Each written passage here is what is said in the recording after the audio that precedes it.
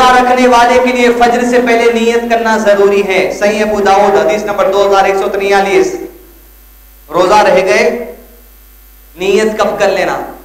नवई तो सौम रमज़ान, ये नियत नहीं है। नियत दिल के इरादे का नाम है। कितने लोगों की नियत हज को जाने की हाथ उठाइए हज को जाने की नियत है। तो क्या पढ़ लेते बट रोज़ाना मैं, हज को जाता हूँ, हज को जाता हूँ, हज को जाता हूँ? नियत के लिए दिल का इरादा। रसूलुल्लाह सल्लल्लाहु अलैहि वसल्लम नियत यही बताए, दिल के इरादे का नाम नीयत है।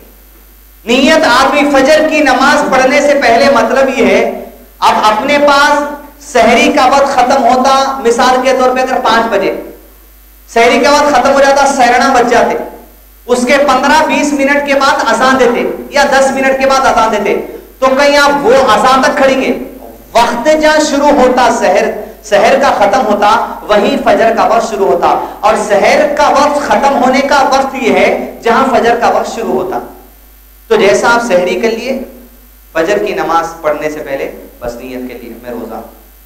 हो सकता कोई शहरी कर लिए, लेकिन हज को जाने वाले लोग रहते, उमरा को जाने वाले लोग थे सुबह दस बजे फ़्लाइट रहती। ऐसे लोगों अगर रोजा नए रहने का इरादा है, क्योंकि सफ़र में जा रहे हैं, सफ़र में एक देर हो सकती, बूढ़े हैं, पहले से नियत कर लेना।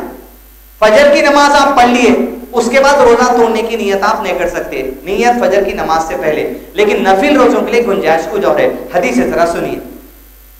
नबी सल्लल्लाहु अलैहि वसल्लम फरमाया, जिसने फजर से पहले पुख्ता नियत ना की, उसका रोजा नहीं। फजर से पहले नियत ही नहीं कर रहे, खाना खा ले रहे, खाना खाने के जैसा। या एटलीस्ट पाँच लोगों को शहर को उठने की आदत नहीं रहती। रात में बारह एक दो बजे खाना खा के सो जाते। वो टाइम खाना खा के सोते वक्त अगर आप नियत कर लिए, तब भी आपकी नियत जो सो जायज़ है। नबी सुने फरमा फजर की नमाज़ से पहले जिसने पुख्ता नियत ना की, उसका रोजा नहीं। नियत करना जो सो ज़रूरी है। रात में सोते वक्त भी अगर नियत कर लीजिए और सुबह फजर के बाद उठना ना हो, तब भी रोजा रखा जा सकता है। जैसे कि हदीस में आया है, नबी सल्लल्लाहु अलैहि वसल्लम ने फरमाया, जिसने फजर से पहले रात के वक्त रोज़े की नीयत ना की, उसका कोई रोजा नहीं। लिहाजा, फजर से पहले आप रोज़े की नियत अगर कर लिए रात में तो भी जो सो जायज़ है। फजर की नमाज़ के बाद अभी सोचने सोचने में नहीं रह सकते।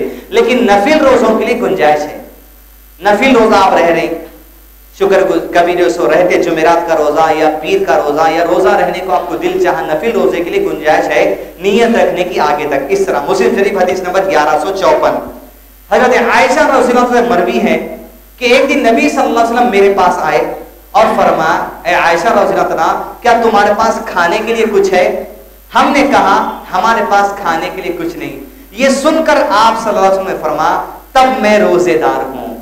यानी नबी वसल्लम ये दिन के वक्त में आए थे, फजर के वक्त में फजर हो जाने के बाद जवाल के पहले आए थे। यानी सूरज जब सर के ऊपर आ जाता तपेली के ऊपर, और जोहर की नमाज़ का वक्त शुरू होने रहता उससे पहले अल्लाह के नबी माई आयशा के घर गए तो कहा, खाने बोले नहीं है। नहीं है तो बोले मैं रोज़े की नियत यानी नफिल रोज़े की नियत आप जवाल से पहले तक कर सकते। साढ़े ग्यारह बजे तक दिन के आप कर सकते। रहना है, रहो नहीं रहना है मत, सुबह से नहीं खाए। खाना, नियत बनी रहे जो इतना नहीं खाए, रोजा रह जाएँगे। आप 11 बजे भी नियत कर सकते मैं रोजा हूँ। सिर्फ़ नफिल रोज़े की, रमज़ान के रोज़े की नहीं। लेकिन अगर रोजा आप खोलना भी चाह रहे आप, नफिल रोज़े की नियत करें शहरी कर लिए फजर से पहले। आप कंटिन्यू कर रहे हैं। रोजा आप खोल भी सकते कैसे? इस तरह। एक दूसरे दिन हमारे पास नबी सलम आए। कहा अल्लाह के रसूल सलम हमें हलवा बटोरे तोहफा किसी ने दिया है? नबी सलम रोज़े की नीयत से घर में आए। रोजा रह गए थे। हज़रत आयशा रजुल्ला ने कहा, नबी वसल्लम, एक हलवा या लोग भेजा तोहफे के तौर पे, क्या आप खाएँगे? रसूल ने कहा, मैंने सुबह इस हालत में की है कि मैं रोजेदार हूँ, लेकिन रसूल हलवा खा लिए। ये नफिल रोजा था, यानी नफिल रोज़े की नीयत आप जो सो जवाल तक कर सकते, खाना है, खा सकते कंटिन्यू करना है कंटिन्यू कर सकते। लेकिन रमज़ान के रोज़े के लिए फजर की सलाह से पहले कर लेना लाजिम है।